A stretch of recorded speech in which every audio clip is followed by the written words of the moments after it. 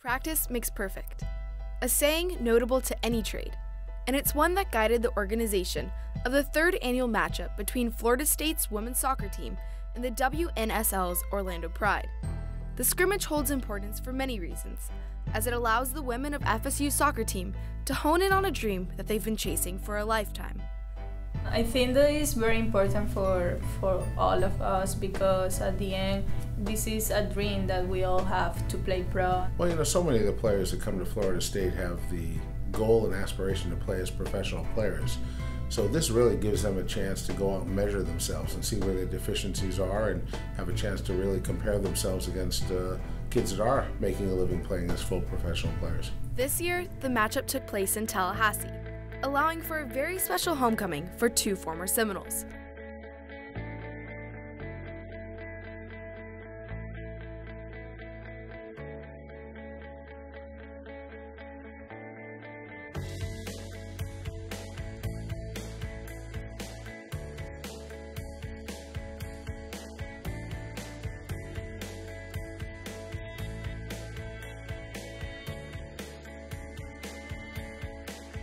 The former Noles Carson Pickett and Toni Pressley.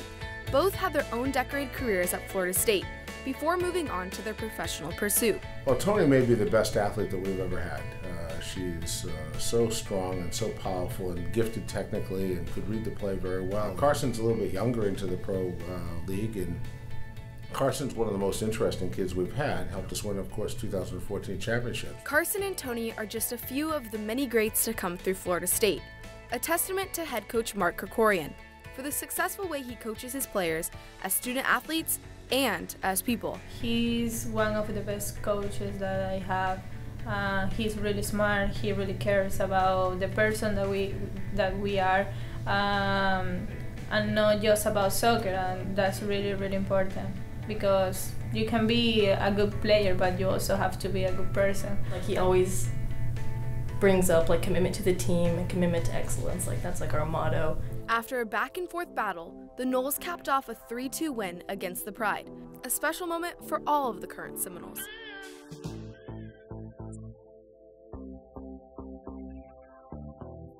As Carson and Toni are living the dream of every current Seminole soccer player, they offered advice to those hoping to one day be in their shoes.